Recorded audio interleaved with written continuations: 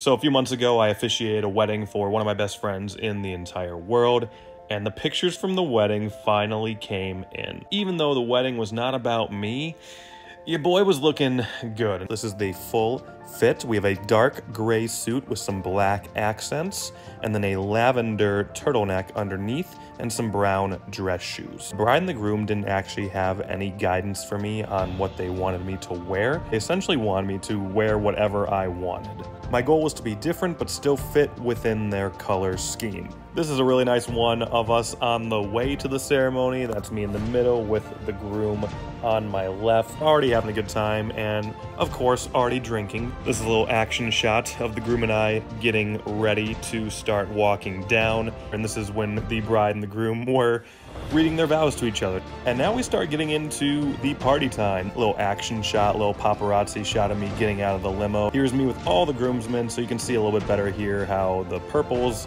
uh, are pretty close together. Mine's a little bit darker, and then my suit is obviously darker. This is almost my favorite picture. Such a really great picture, but it's it's missing something. Actually, you know what? It's not missing something.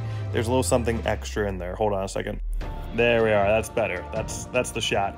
That's the shot. Okay, I take that back. My favorite picture is from the wedding reception. Yeah, that's what happens when your officiant is done officiating and the drinks come out.